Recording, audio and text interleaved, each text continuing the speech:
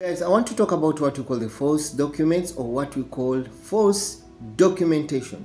Yes, it's a criminal offense here. For those people that do not know, when you are using documents that do not belong to you, especially when you come to this country, it might be academic certificates, it might be uh, birth certificates that do not belong to you.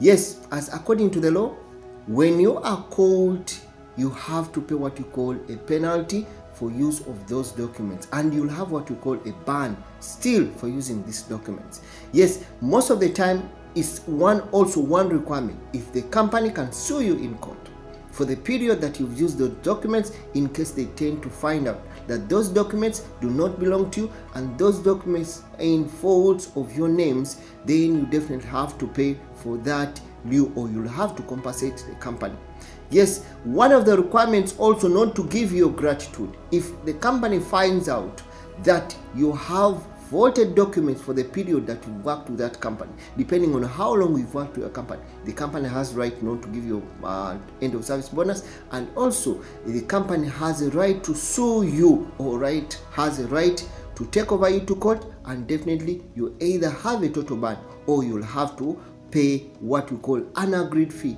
to the company for using of using of what you call faulted document. So also be very very aware or be very very vigilant and be very careful when we are coming to these countries. Yes, some of these laws may get us and some of these laws will uh, put us in trouble or even go to jail in one way or the other. Hope I've tried to share something for you by the if it's your first time come across the channel by the way. This makes tap the subscribe button or tap that plus button. Follow for more videos